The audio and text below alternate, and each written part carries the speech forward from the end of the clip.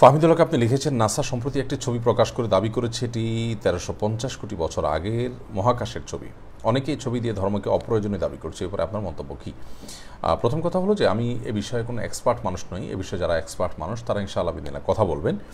আমি আমার জায়গা থেকে যেটুকু বলার বলার সুযোগ আছে, সেটুকু আমি শুধু বলছি। সেটা হলো যে আল্লাহ রব্বুল আলমীর অস্তিত্বকে যারা অস্বীকার করে, এই মানুষগুলো বিশেষ করে আমাদের বাংলাদেশের প্রেক্ষাপটে আমি বলছি তারা কোনো একটা ইস্যু পেলেই কীভাবে ধর্মকে বিশেষ করে আরও নির্দিষ্ট করে বললে ইসলামকে আক্রমণ করবে, সেজন্য তারা মরিয়া হয়ে ওঠে এবং তারা অহেতুক, অপ্রাসঙ্গিক এবং অবান্তর নানান কথা সেখানে তারা তুলে ধরে। কোনো ছবি যদি অনেক বছর আগের উদ্ধারও হয়, তো একজন ইসলাম, মুসলিম, ইসলামের অনুসারী বা একজন মুসলিম হিসাবে আমাদের দৃষ্টিভঙ্গি হবে সেখানে যে লানুসাদ্দে করা নুকাজিব এগুলোকে সত্য বা মিথ্যা কোনোটি আপনার কোনোটিতে এটাকে, আপনার ফেলার কোনো আবশ্যক আমাদের জন্য নয়। এবং কোরআন এবং হাদিস দ্বারা প্রমাণিত নয়, জাস্ট গবেষণা। গবেষণা ভুল থাকে, ভুল প্রমাণ হয়, সঠিক হতে পারে নানান রকমের সম্ভাবনা সেখানে থাকে। অতএব এই বিষয়গুলো নিয়ে খুব বেশি এক্সাইটেড হওয়া এবং একেবারে মানে এটাকে ধরে বসে থাকার মতো কোনো কিছু নয়। যার কারণে এগুলো নিয়ে একজন মুসলিম অন্তত খুব বেশি শক্ত এবং কঠোর কোনো অবস্থানে যাওয়ার মতো বা এটাকে সত্য, অসত্য বা এটাকে বিশ্বাস, অবিশ্বাসের যে জায়গাটা, সে জায়গা নিয়ে যাওয়াটা খুব গুরুত্বপূর্ণ কোনো বিষয় নয় একজন মুসলমানের জন্য।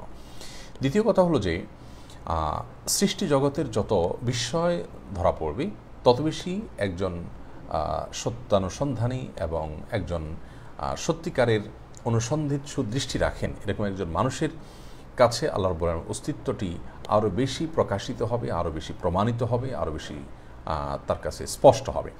আল্লাহ রব্বুল আলমিনের অস্তিত্বকে যারা স্বীকার করেন, আল্লাহ তালার প্রতি ইমান যারা আনয়ন করেন, আল্লাহ তালার সৃষ্টির প্রতিটি বিষয় তাকে আরও বেশি ঋদ্ধ করে আরও বেশি ইমানদার করে আরও বেশি বিশ্বাসী করে তোলে। বিধায় এ ধরনের বিষয়গুলো একজন ইমানদারের ইমানকে আরও বৃদ্ধি করবে যে আল্লাহ রব্বুল আলমিন তাহলে কত বড়, কত মহান, কত বিশাল এবং যে জগৎ সম্পর্কে আমাদের খুব বেশি ধারণা নেই, সেই জগৎ সম্পর্কে যখন আমরা অবাক করা তথ্য পাই এবং বিস্ময়কর তথ্য পাই, এগুলো আমাদেরকে আরও বেশি বিস্মিত করে যে আল্লাহ রব্বুল আলমিন হাকুন হাকিমিন, তিনি কত বড়। এবং সেই জগতে যেখানে এখানকার কোনো টাইমিং এখানকার কোনো কিছু ম্যাচ হয় না সেই জগতের যিনি সৃষ্টিকর্তা, তার সাথে কারোর তুলনা চলে না। এই বিষয়গুলো যে বাস্তবসম্মত যৌক্তিক, সেগুলো আরও ভালো করে প্রমাণিত হয় এবং বুঝে আসে। আল্লাহ রব্বুল আলমিন এই বিষয়গুলো থেকে, আল্লাহ তালার আয়াত থেকে আমাদেরকে ইমান বৃদ্ধি করার তফিক দান করুন। আল্লাহ তালা কোরআনে বিভিন্ন জায়গায় বলেছেন, আমরা যেন আল্লাহ তালার আয়াতসমূহ নিয়ে গবেষণা করি, ভাবি এবং আল্লাহর আয়াতসমূহের প্রতি যখন দৃষ্টিপাত আমরা করব, তখন আমাদের ইমান আরও বৃদ্ধি পাবে ইনশা আল্লাহ তালা